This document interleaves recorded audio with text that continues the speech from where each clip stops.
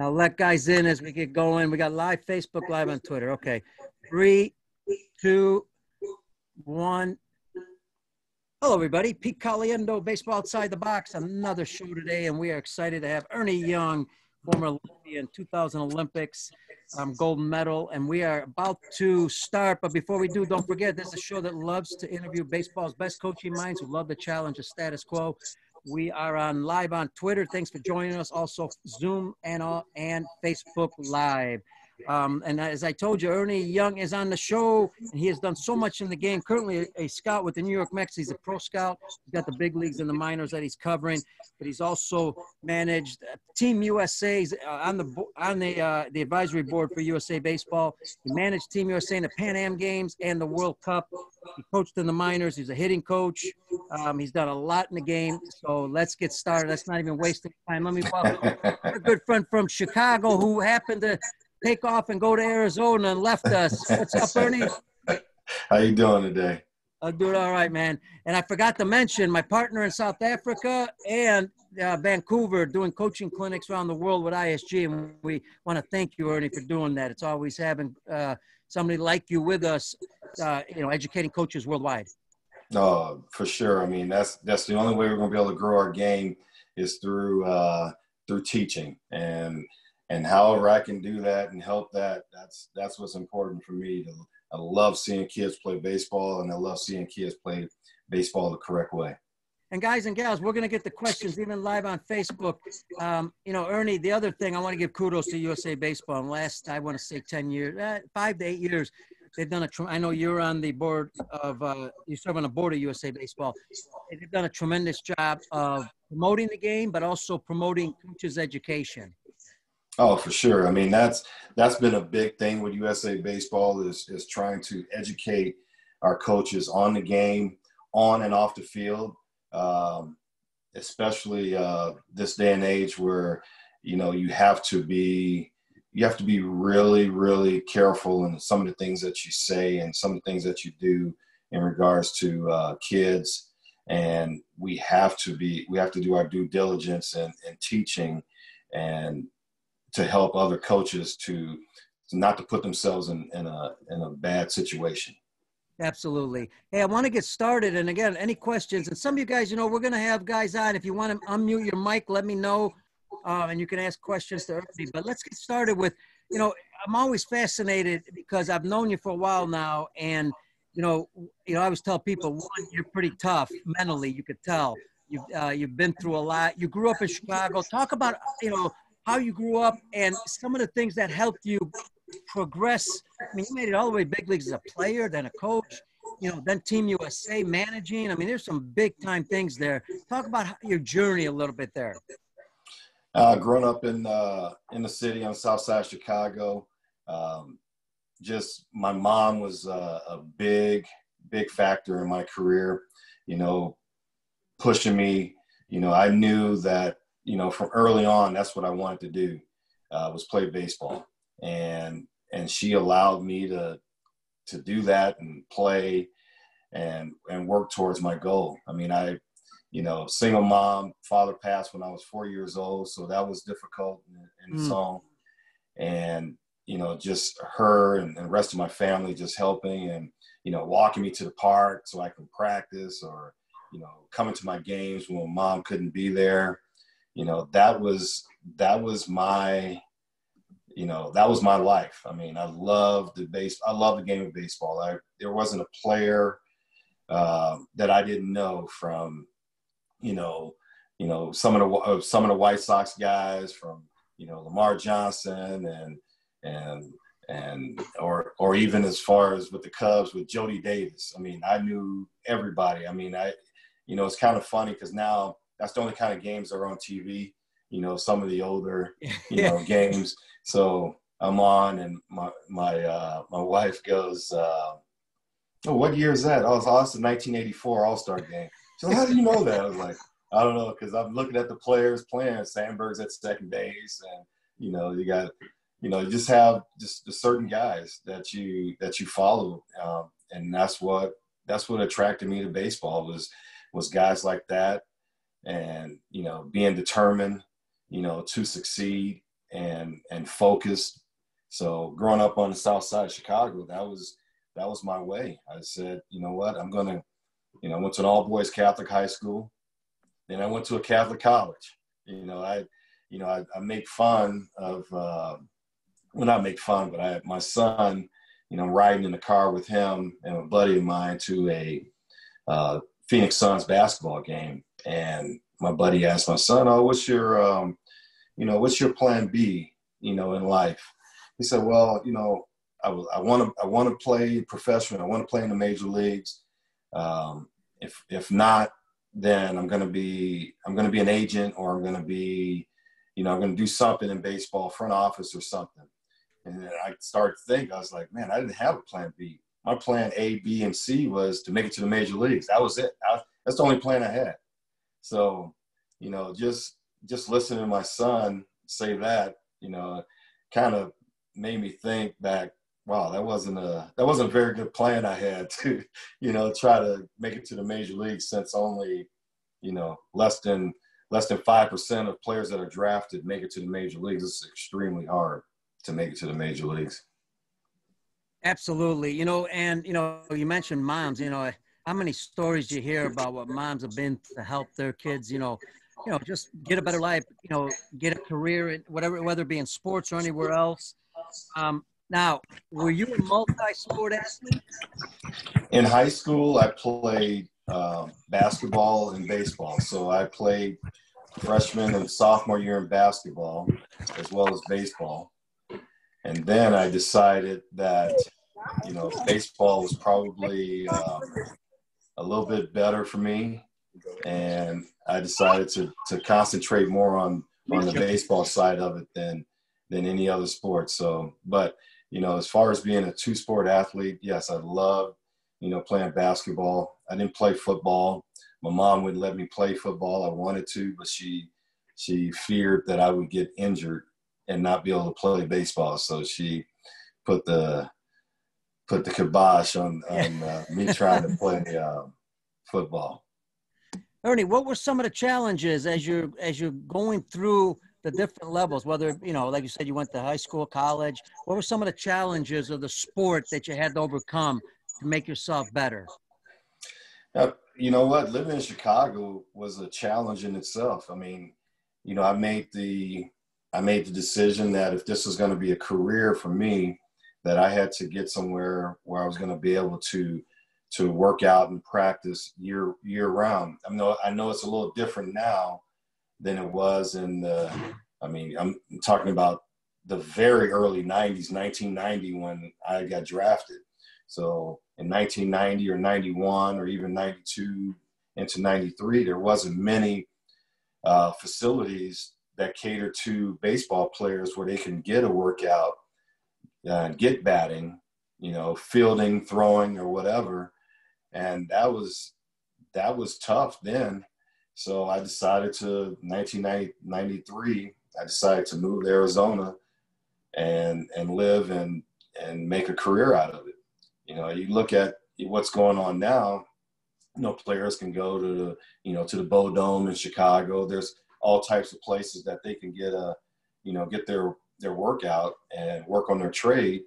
And we didn't have that then. So I mean, the, the facilities are much better for the kids now and mm. there's really the only excuse that they have now is how much they want to work or not work. You know, you've got a son who's playing. Sounds like a pretty good one, and you're you're close with him. You guys work out together. You know, he's got also a, a you know trainer. Um, you know, I. What's your advice to coaches when they're working with players? Because you're always hear work on your strength, but yet you need to work on your weakness also. Sometimes you can't work on both. Um, what's your advice there? I, I would say, you know, develop a plan and then try to try to stick with that plan. So if if week one you want to work on, you know, you want to work on on staying up the middle or working on balls away. So you you you do drills that are going to allow you to to accomplish that, and then you I don't like jumping from drill to drill. Mm. I like to kind of get a drill, almost master it to a certain degree, and that's how you're going to continue to get better. And then, you know, the next week or you know a few days later, you know, you you introduce another drill and and go from there. Because if you keep throwing out, for me, if you keep throwing out more information or too much information, then it's going to be uh, difficult for a young player to uh, retain the information. So, so you have to be very careful in how you uh, how you deliver uh, the message to your to your young player because if you give them too much, then they're going to be overloaded and they're going to be more confused than um, than ever before.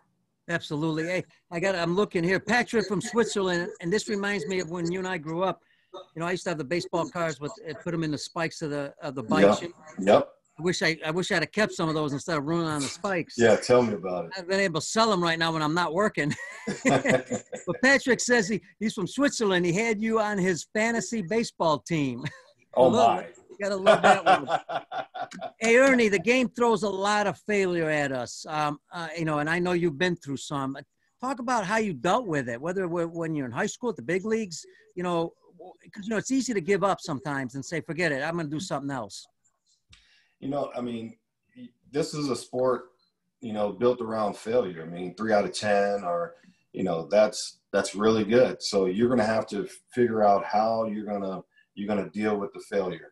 So I'm I'm big, and I try to stress with my kids and my son, in particular, is, is you know learning how to to deal with that failure, not showing you know poor body language because what's going to happen is as soon as you show very poor body language, then you know someone else is going to see it, and even if you don't like the way that you took a swing in practice, you know what?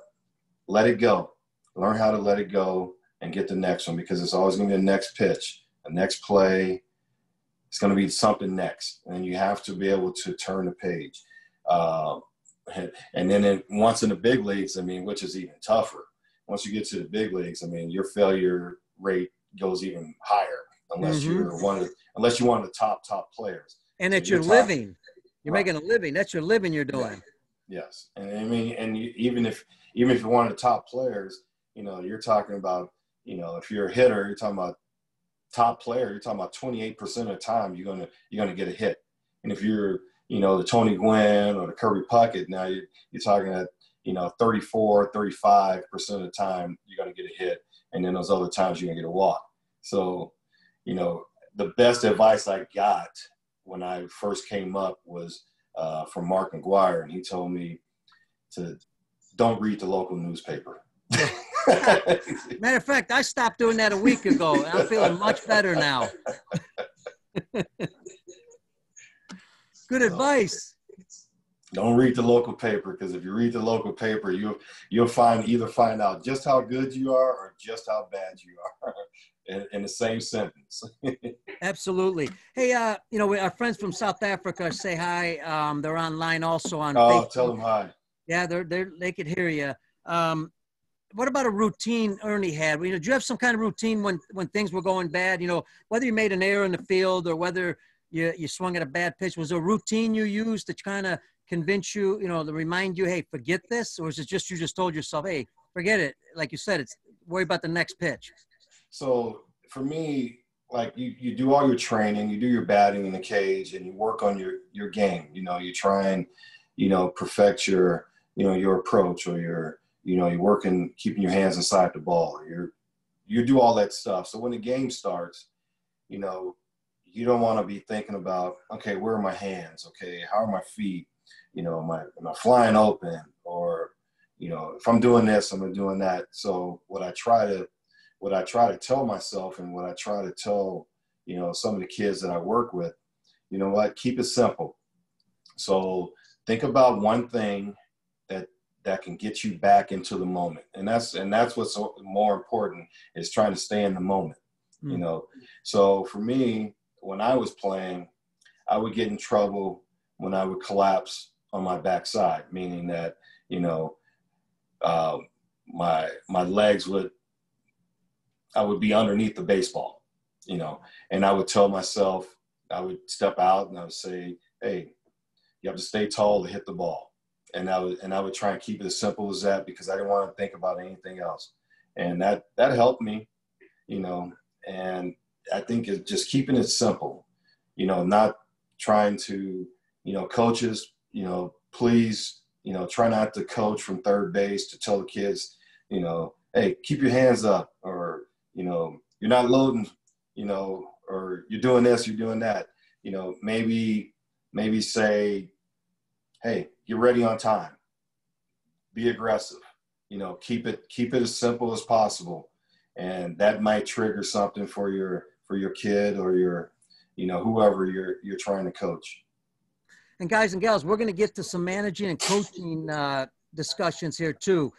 Uh, but I do want to ask, you know, interesting. You're coming from an era of not as much technology when you played. Now we got all kinds of technology. Are you using it? How are you using it? Just some advice. And I realize different levels. You know, like high we were talking yesterday. High school coaches sometimes they can't afford some of the technology, or the youth coaches. But are you using it? And what's the best way to kind of balance that? I mean, you you need to figure out what's best for your kid, and I'm. I mean, I, it took me a while to get on board with some of the technology, but I, I understand that the times are different and you have to evolve. So I'm I'm in on the technology to a certain degree.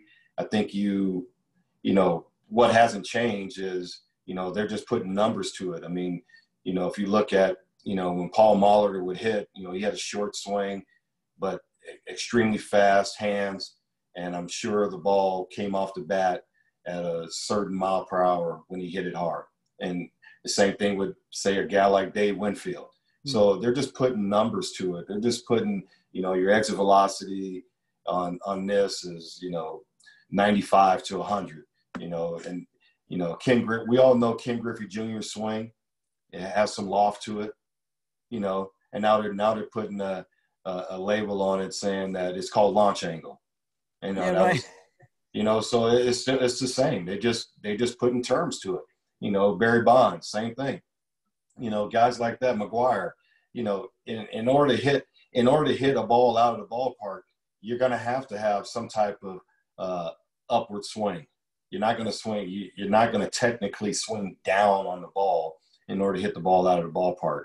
But you know, they're putting they're putting names to it. But but what they're but what's happening is, I think sometimes when you you try to uh, distribute the information and they're telling you okay to elevate now it's, it's one thing to elevate in front of the plate opposed to behind home plate which makes mm. your swing uh, long and loopy you know interesting and I, I love the part that you talked about you know we're kind of reinventing the wheel a lot of times there are some new things that come up but you know Ted Williams talked about that a long time ago, right? The, yep. the angles of the bat going up. You know, everybody yep. thought he was crazy. Yep. Um, you know, now everybody's talking about it. So I'm glad you, I'm glad you brought that up. And I'm also concerned sometimes, and I know it's social media, but I'm concerned because you know I, I read it and I see, you know, like the other day I saw it was two sentences on hitting about rotation, and I'm an average person. I went to college. I mean, I, I think I understand some words, but out of two sentences, I think I understood four words. because I don't know if people are trying to impress everybody, but why, you know, and I think that's what you're saying. Keep it simple. Yeah. Making it yeah. so complicated. Yeah. I mean, it's, it's hard enough to hit, you know, hit the baseball and then you, and then you throw in, you know, you know, rotational, and then you're linear, and then you're, you know, this. So, I mean, for me, you know, and everybody learns at a, a different pace. So you have to be able to, the technology is great. And I, and I, like I said, I've started to adapt a little bit more for the technology, but you have to teach hitting depending on the level of, of hitter that you have. Some guys, um, even right now, some guys that I, I teach hitting to, they're, they're more visual. So I have to show them. You hmm. know, some some hitters I can I can talk talk to them and they can process what I'm saying really quickly and then they can do it. So I mean, every hitter is different. You know, you may have answered this already, but your buddy, our, our good friend Jim Salter from Vancouver, I think he drove you around. Yeah. Um, uh, he says, was there ever a time you just wanted to give up? You know, as you're playing, I'm, uh, I think he means. What, Mhm. what what was good for you to stay dedicated? What kept you dedicated? Um, for me, I've I've never been a quitter, and when I stopped, here's a funny: when I stopped playing baseball, I, I had, you know, I have standards, and I played from 1990 to uh, 2000 and end of the 2007 season, and I told myself that the only time I'll stop playing is when I suck, when I'm not hitting good. And my last year that I that I played, I battled back injuries, and I wasn't. And that's not for me. That's not an excuse. I don't. I don't think. I don't like excuses. I think there's always a way that you can perform, regardless of how you're feeling. And I didn't. I didn't like the way I I was hitting, and I said, "That's it. I'm done." But I. But giving up, or you know, there's no way. I mean, I I for me, I just love the game so much that that no matter what what obstacles I had in the game, be it as a player, as a coach, or whatever, I said, you know what, I'm I'm in I'm in for the long haul.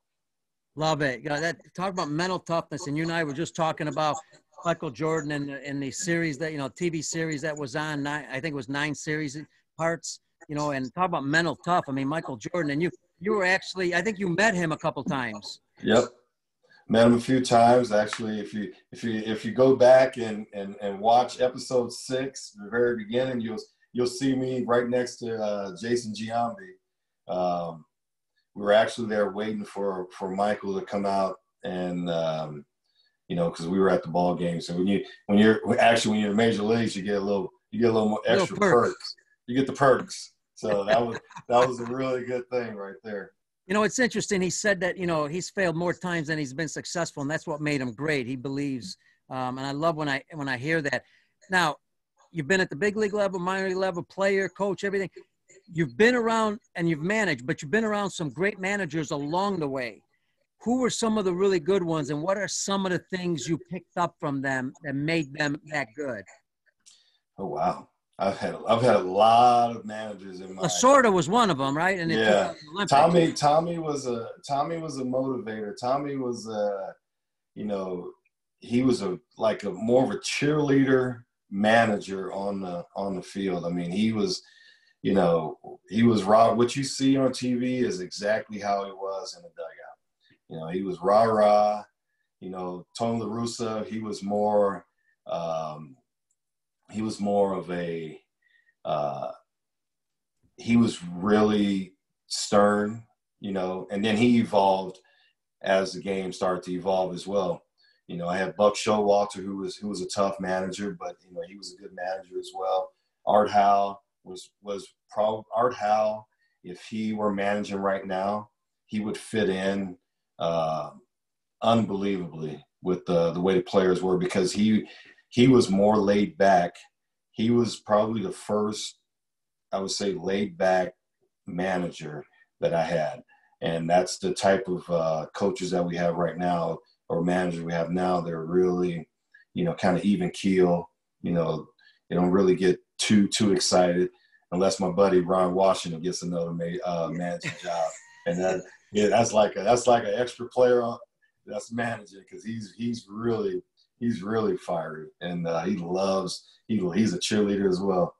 You know, I've been lucky. Um, been trying to get Ron on. I was I was in Italy with Ron for a whole week, Right. and you know, talk about a person who will never give up, just like you. Oh, This guy's not giving up no matter what. He'll fight you tooth and nails to the end, and I really believe he needs to be back managing, no doubt about Oh, it. sure. Um, uh, just you know, and I, I, I'm glad you brought that up.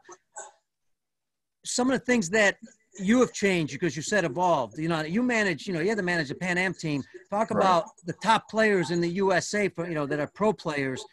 What's Oh. some of the things that you made a change in your coaching or managing style? you know, I mean, for me, it's just you know learning to to be a little bit more uh, patient because you know I was taught from you know coming up with the A's, and we I, we had some really tough coaches, uh, Ron Plaza, who was used to be with the uh, Cincinnati Reds, uh, Karl Kuehl, who was um, longtime um, coach and farm director uh, before he passed.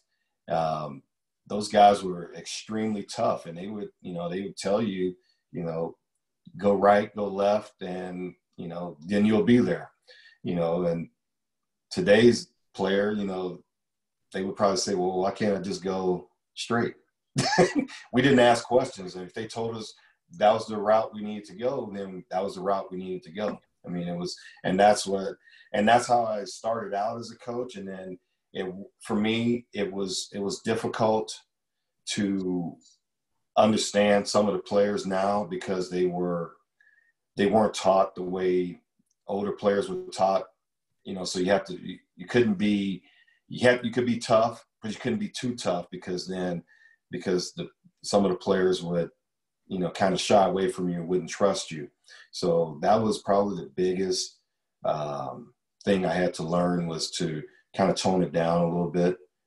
And, you know, just, you know, it, it made me, made me realize just how tough I was. yeah, that's and that's the thing. Sometimes we want to try to teach them how we played the game, and right. unfortunately, that doesn't always work. Um, was there is there something that you do when it comes to discipline with a player? If you run into a player that's you know you know we're all going to have bad days, right? Your, your bad days could come from being at home. Then you get to the park and he just doesn't seem like the same guy. How do you deal with situations like that? You know, I mean, you want to try to um, keep your personal life, you know, outside of the ballpark you know, and, and it's very, it's very difficult at times. And, you know, for me, you just, you know, you just kind of, you feel like you're to have a, a, explosion or a meltdown, kind of, kind of back up a little bit and, and, and, you know, take a moment and say, you know, is it really, is it really worth, you know, pissing this player off. Excuse my language. no, no, hey, it's a podcast. Yeah. We're yeah. good.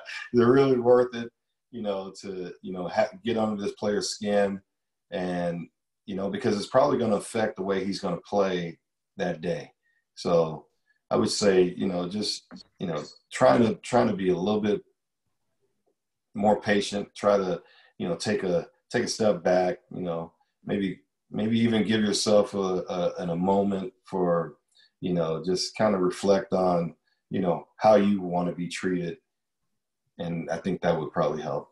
What's your routine as a manager? You have a routine, you know, you get to the park. Are there certain things you do to prepare the team, you know, to understand what's going on that day? Uh, kind of a routine for our coaches out there who also are working with players in games before games. Well, my routine usually started the night before, you know, and now you're seeing, you know, that it's starting to uh, be a like an everyday thing now. So now players – before they even um, before they even go home, they they know that they're playing the next day. And I usually, you know, I would tell guys, especially some of my bench players, okay, you're going to play tomorrow.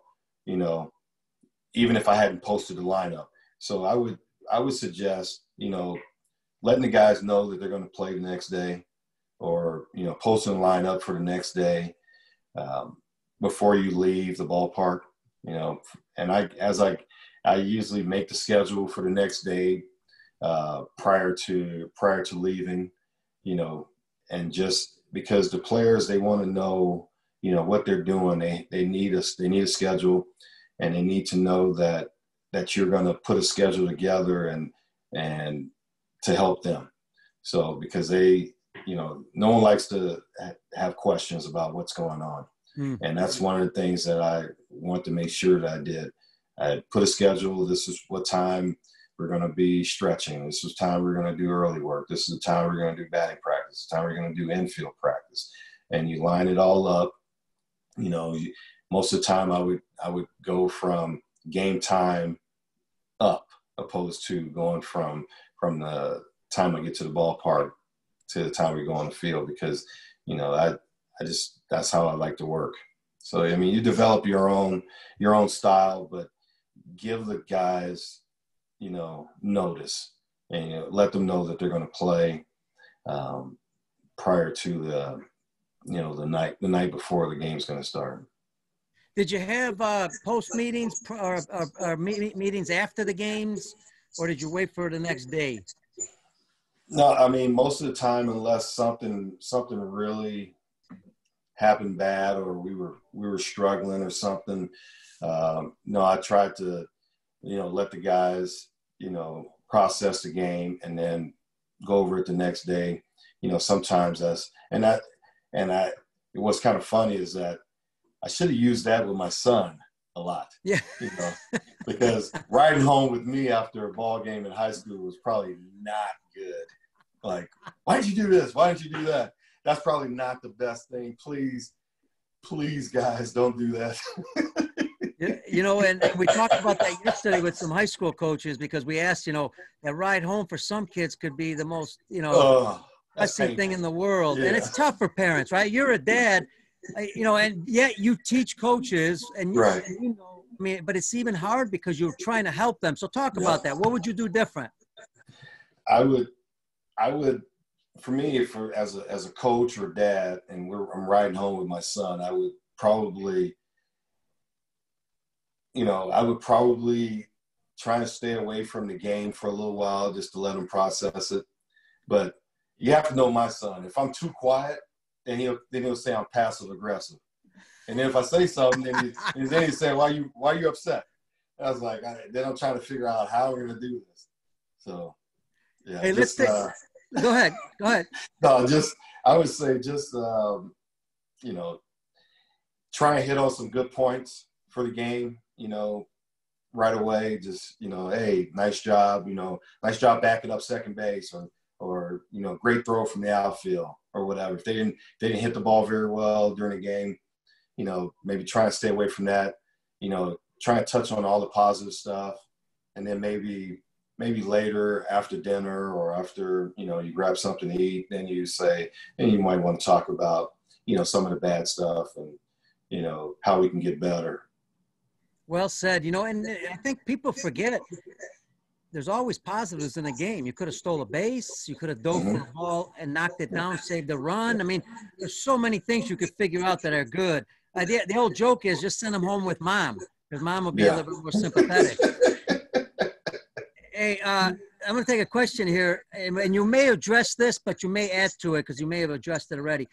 What what attitude did you learn from the managers that you were with? Uh, what direction did the managers go with the players? Um, what was the most they emphasized? Um, for me, it was it was more of intensity.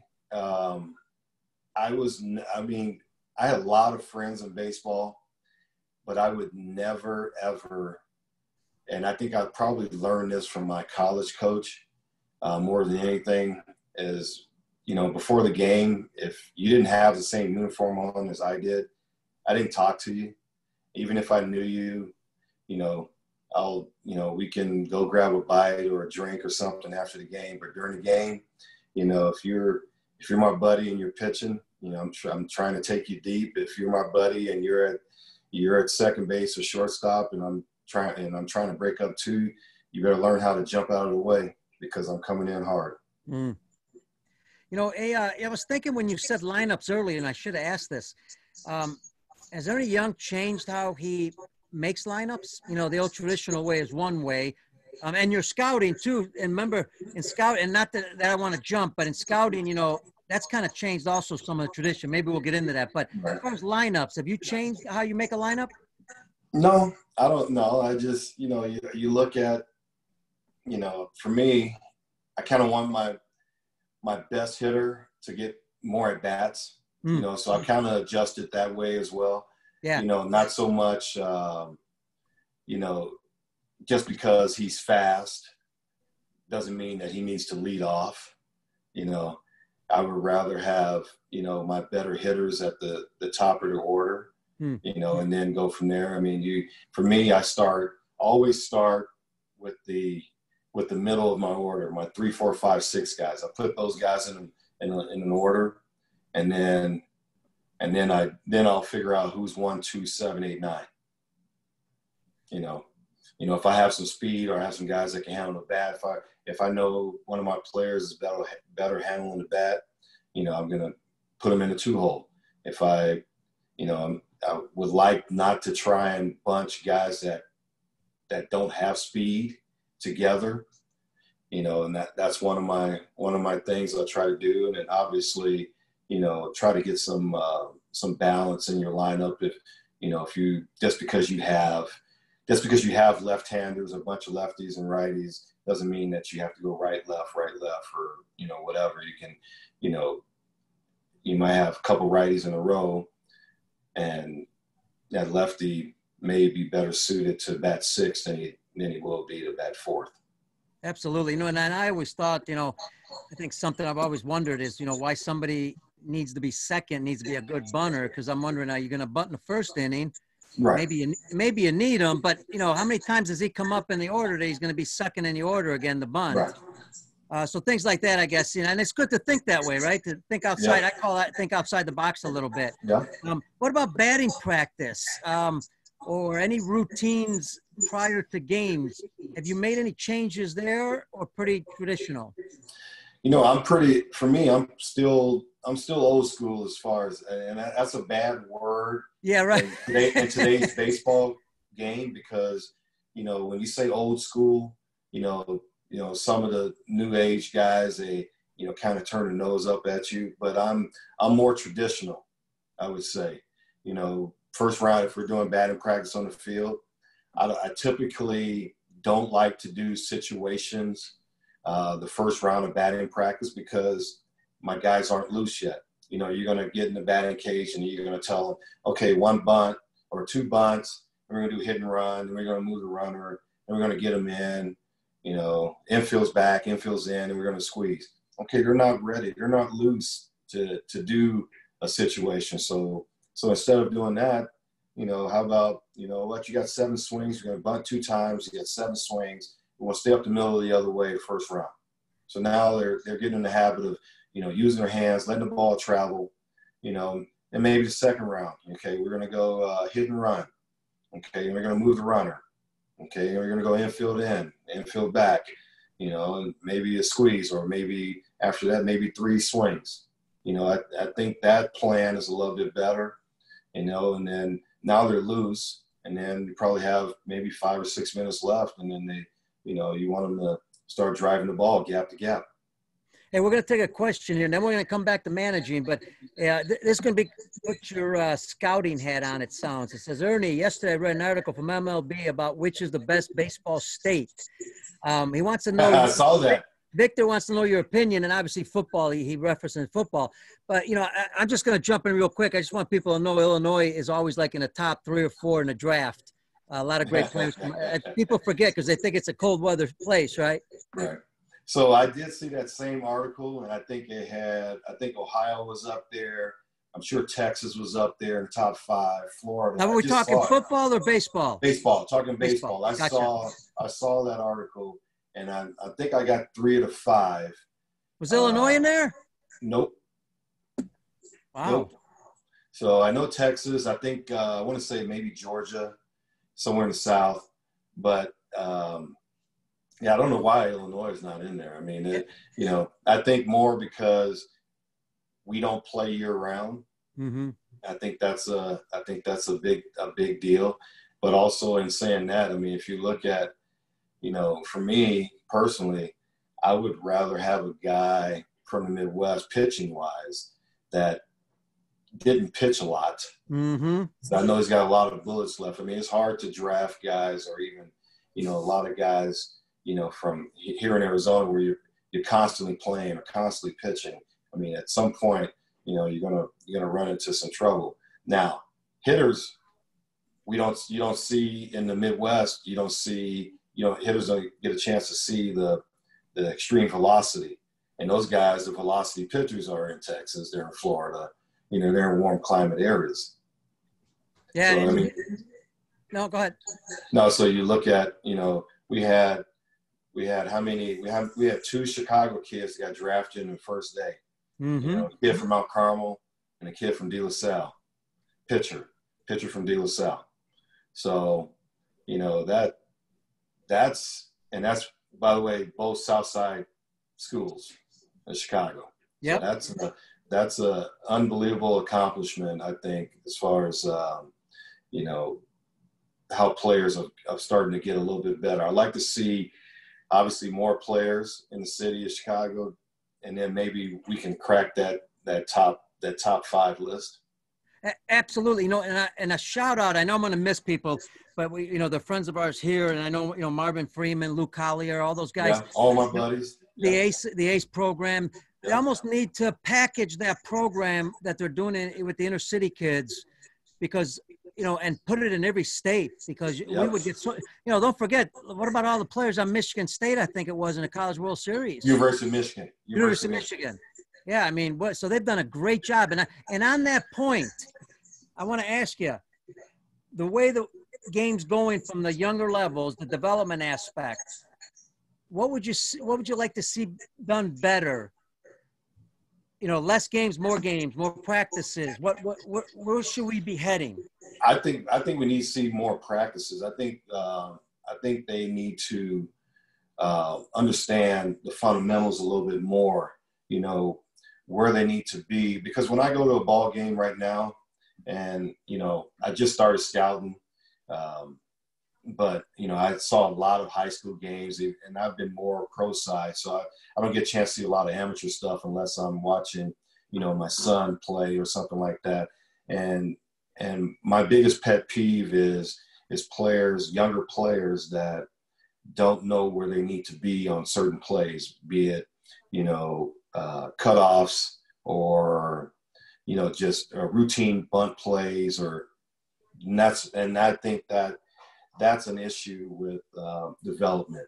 So and I think if players are able to understand the fundamentals a little bit better, they stand out even more when a scout is at the game because the first thing the scout's going to say, "Oh my God, I can't believe that kid's in a, in that right position." I mean, that's that's unbelievable. I mean, you know, I you know I had to, you know, and I've always taught my son from the professional aspect of you know where he needs to be. He's played third, he's plays first, he's settling in a little bit at first base. You know, trying to explain to him, you know, just you know certain scenarios, and he should know and my other thing too, each player on the field should know where the other person should be. Doesn't matter if you're a shortstop or second base or left field or right field. You should know where everyone is supposed to be on the field in any given play. And folks, just so you know, we got about 10 more minutes and we're going to stay on schedule because I know Ernie has a uh, another Zoom call um, at the top of the hour. So, uh, Ernie, uh, what's the toughest thing about managing? Toughest thing about managing is uh, managing today's players. I would say managing, you know, how how to communicate with today's player. You know, you know if you're if you're too tough, will they shy away from you? If you you know if you're too easy, will they take advantage of you? You know, I would I would say it's that would that's probably be the toughest thing as a as a manager.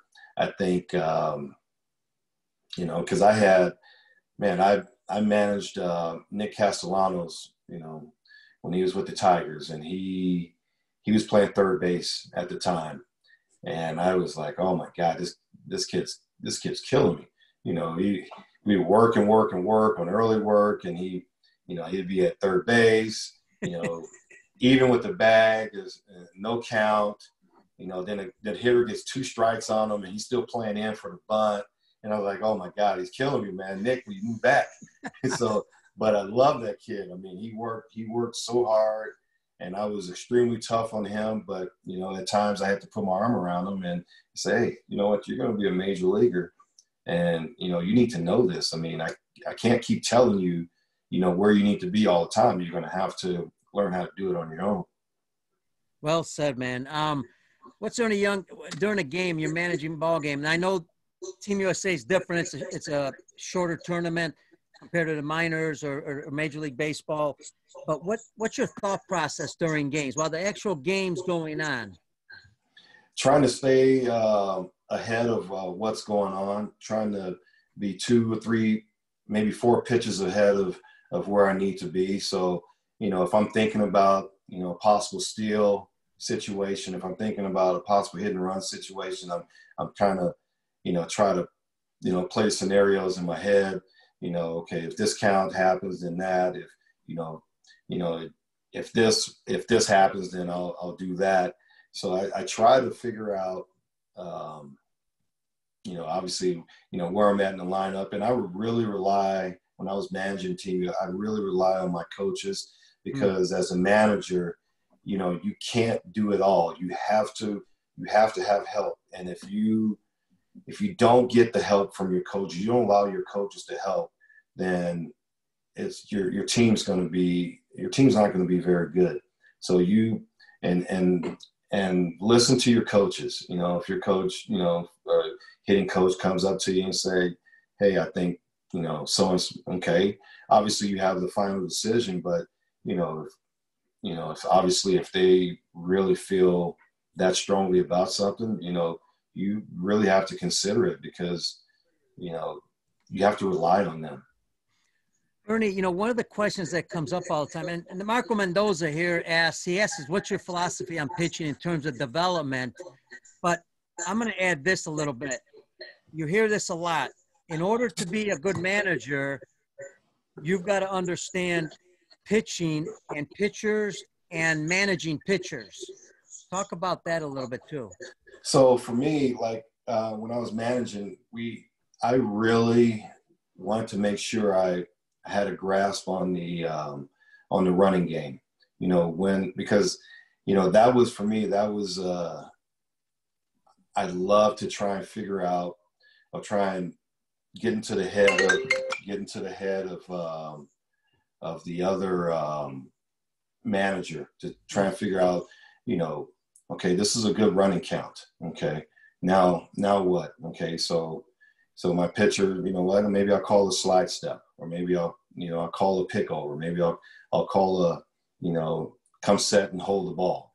You know, just to try and disrupt, you know, the base runner, and as, as well as trying to disrupt the timing of uh, of the batter, and to give our to give to give uh, to give everybody a chance to um, to get you know get the job done. You know, one of the things managing, it seems like, and I want to talk, talk to the younger coaches, younger managers you're going to make decisions just like players. And sometimes you make a decision because, an example, you know, you're pitching a guy away, your defense might, you know, play away, and you move them, but yet the pitcher misses, and that guy pulls the ball down left field line. Everybody wonders why you moved it to the right side. In your mind, you're thinking that possibly as a young coach too. Did I make a mistake? How do you deal with the mental aspect of that? Because you know everybody's looking at you. Hey, did right. you take that call? well, I mean, you can't. This is a game of failure. I mean, obviously, it'd be a, in a perfect world, you know, the pitchers hit the spot. They they hit a nice ground ball to second base. You know, we're out of the inning. But you know, that's that's not the case. I mean, sometimes the hitter is better than the pitcher on a given pitch, or the swing's better than the pitch. You know, it could be a good pitch and the swing's better. You know, so yeah. you, so you, I mean, you you can't you can't second guess yourself. I mean, you, I mean, obviously, you want to be able to, um, put your players in the right position to be successful. I mean, now, you know, you look at all the, you know, defensive alignments with the over shifts and even the, even the hitters, they're not going out of their, their, um, their setup. If they're dead pull, they're going to continue, they're going to stay dead pull. They're not going to try to change and hit the ball the other way just to get a hit. They're going to try and beat the shift. You know, for me, that would never happen because I'm going to hit it or try to hit it or attempt to hit it where you're not because I want to get on the base. Absolutely, and but you know, and that's one of the questions that comes up even by fans. They wonder, you know, the guy they're shifting them. Why can't the guy just hit the ball the other way? But it's right. easier said than done. You got to train right. for that too. Yes, you do. Yeah, you're exactly right, and that's and that's part of your your pregame routine is is learn how to to to handle the bat, and you know at times you have to know how to uh, manipulate the bat. Uh, uh, you know, i.e., Wade Boggs or Tony Gwynn or Derek Jeter, you know, who were extremely masterful at, at pulling those hands in and, and shooting the ball the other way. Um, we got about five minutes left, so let's let's put the scouting hat on. Talk to the coaches about what you're looking for in players nowadays. Not not necessarily always the skills, but also other things. Well, for me, I for me, I, I like, I mean, because I don't see a lot of amateur guys unless I, I'm doing some, you know, stuff with Team USA with the with the younger players, or even uh, you know out of the country with you guys. You know, for me, the first thing I look is if he passes the eye test. You know, mm-hmm. meaning that you know the player walks out on the field, he looks like a ball player. You know, his pant, his shirt's tucked in, his belt's on, his you know, he looks like a baseball player. So I'm looking, I'm looking for the eye test first. And then if a player passes the eye test, and then now I start to to look at, you know, everything else. You know, how how he's running, how he's warming up. And then I go from there to, you know, if they're taking batting practice and and see, you know, how he's handling the bat. And then I mean it's a continued process. Then you know, obviously the game starts. And I'm looking at is he a good teammate? Okay, did he just strike out with the bases loaded and slam his helmet or, you know, win the dugout and, you know, put his head down or, or did he strike out with the bases loaded and got back up on the top step to cheer for his teammate to pick him up? You know, those are all important things. Or, or did he, you know, he make him, he struck, he struck out and, and instead of uh, running the glove out to, you know, the, the runner that was at second base or first base, did he just run out on the field and not, you know, not take the glove out to one of the other players? I mean, all that stuff is important. And believe it or not, every amateur scout is probably looking at that and and making notes and seeing which player is a, um, a possible, you know, player, and that's one of them. Hey, Gavin Bennett uh, on Facebook says uh, he's putting the pressure on you. He says, "What'd you think about the players in South Africa?" You know, we didn't see all the players. Obviously, we had dealt with the coaches also. Uh, I mean, I you know what? I wish I had an opportunity to see more players. I mean, maybe next time we go there, we'll, we'll get a, a, a, a, bigger group of players. But you know, just like anything, you got to teach, you got to grow the game, and they, you know, they have to you have to keep practicing. I mean, that's just the bottom line. You know, and I love you say that because I think that's what we're getting away from a little bit at the grassroots level. And in the long term, it's going to hurt the game a lot if we don't readjust practicing more sometimes than we just play all the time. Um, let's finish it with this advice to coaches. Um, any last minute advice, you know, that you want to give young coaches when they're getting into coaching that can help them just be, you know, better coach, better player, better manager? Um, I would say definitely uh, study the game, know the ins and outs from from defensive alignments. You know, because there's a lot of things that you can teach, and and teaching teaching that's going to help you be a better player. Look at there's a lot of um, there's a lot of drills that you can look on on YouTube from major league coaches. Uh, Ron Washington in particular, Bobby yeah, Dickerson. Great. He's got Bobby great Dickerson. ones. They got great, great, great defensive uh, drills and make your players understand the importance of, of playing good defense because, you know, no matter what, you got to get three outs where you can hit. You get three outs, you can hit. The quicker you get three outs, the more you get to hit. So stress that. So, and that's the only way you're going to stress that is is uh, through defense. All right, super. Ernie Young, man, I can't thank you enough. I know you got another Zoom to get to. Yeah. So God bless you, man. Best of the family. Thanks for joining us. Thanks, brother. Okay. All right, man. That's Ernie Young. I'm Pete Caliendo, and I want to thank Brian Crocker, producer with the Lineup Media Group, and also thank everybody in the U.S. and around the world for joining the show. Thank you, Ernie Young. Thank you to everybody on Twitter, Facebook, and Zoom. Remember, this is the show that loves interview baseball's greatest coaching minds and remember, tomorrow, 1 p.m., we're back in division with Slow the Game Down. Uh, Ryan Harrison will join us. You do not want to miss that. Slow the game down. Learn about how the brain works, how the mind works, how the vision works to make yourself better, not only as a player, but as a coach also. So, again, I'm your host, Pete Caliendo, the show that loves interview baseball's best coaching minds in the U.S. and around the world. We'll see you on tomorrow's show, 1 p.m. Bye bye, everybody.